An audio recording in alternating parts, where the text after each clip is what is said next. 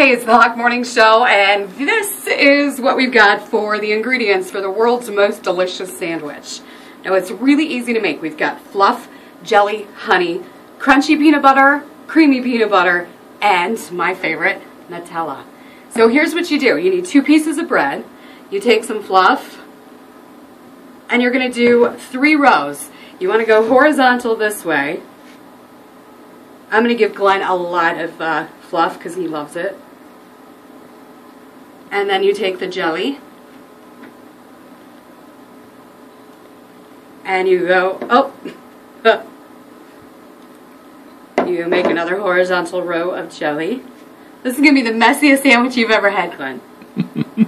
All right, so he doesn't know what to say. I'm speechless.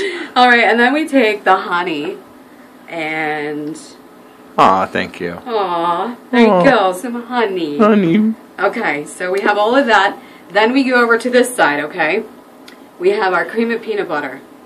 And we're going to do a big old slab of creamy peanut butter on this side.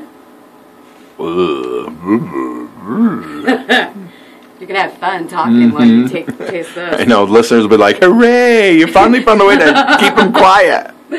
And then we have our crunchy peanut butter. I'm going to do it over here.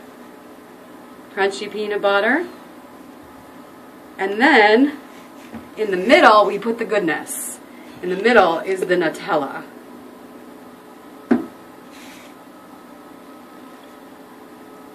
Look at this. So, if you're cooking challenged like Glenn is, you can make this. All right, and then you take the two pieces and you slap them together.